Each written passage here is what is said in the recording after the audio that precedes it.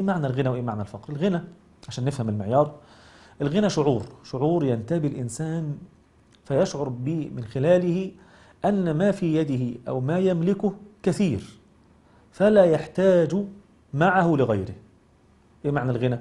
إن واحد معاه أشياء فمن كثرتها معاه في إيده يعني يرى أنها توفيه حاجاته مش محتاج حاجة تانية فخلاص مستغني يشعر بالغنى مش عايز حاجة من حد. طب والفقر؟ الفقر شعور. ينتابي العبد برضه لشعوره أن ما في يده قليل. هو يرى أن الذي في يده قليل وأنه محتاج إلى غيره وأن هذا الذي في يده لا يكفيه لا يكفي حاجياته.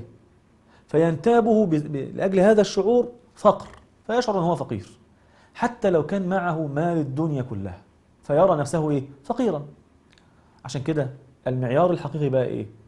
كما قال صلى الله عليه وآله وسلم لأبي ذر قال له إن الغنى غنى القلب وإن الفقر فقر القلب إن الغنى غنى القلب وإن الفقر فقر القلب.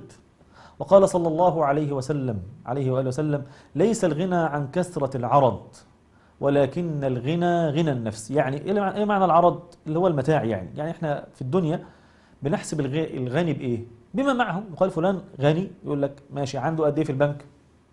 عنده كام شقة؟ عنده كام عربية؟ عنده إيه بالضبط من متاع الدنيا؟ ده اسمه العرض.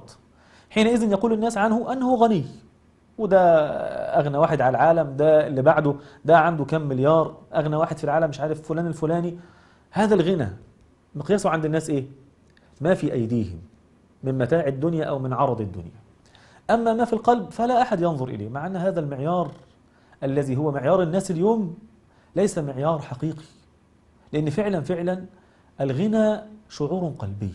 ربما ترى عبد معه الدنيا كلها بحذافيرها وتراه فقيرا فعلا يرى نفسه محتاجا يحزن جدا لما يفوت بعض المال ولا يرى نفسه غنيا.